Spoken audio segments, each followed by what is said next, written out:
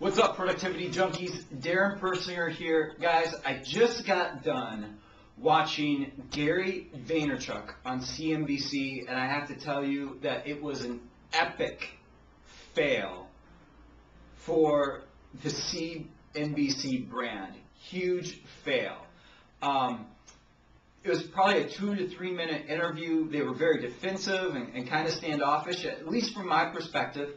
And one of the reporters says, um, he, he says to Gary Vaynerchuk, I don't want to have to talk with that many people. When Gary's mentioning to him that he has 850,000 followers on Twitter, the reporter says, a reporter for a news channel says, I don't want to have to talk with that many people. I don't want to have to interact, basically, is what he's saying.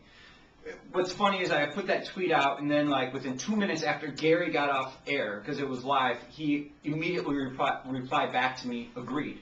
So, I, the reason why that's an epic fail is that the brand, the person, the company that interacts the most from this point forward is going to win.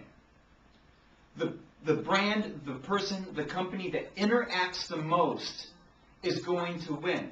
So all these viewers, and I don't know how many viewers are, are watching CNBC every day, but there's all these viewers that are watching a reporter basically say to all of them, you know what? I don't care about you guys. I don't want to have to have a conversation with you. Just shut up and let me give you the news and my opinion and what I know and listen to how brilliant I am. Epic fail for CNBC.